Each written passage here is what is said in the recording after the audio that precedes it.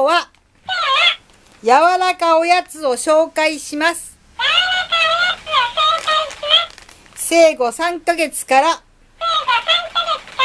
生検食べれます。では、右から紹介します。僕の隣からです。ビーフササミです。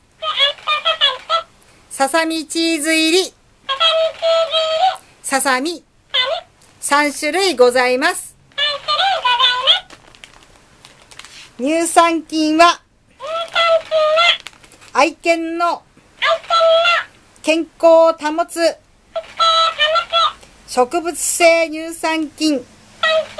計71を配合して。牛肉と。ささみをベースとした。おやつです。指で簡単にちぎれます。それがビーフササミです。柔らかおやつの紹介でした。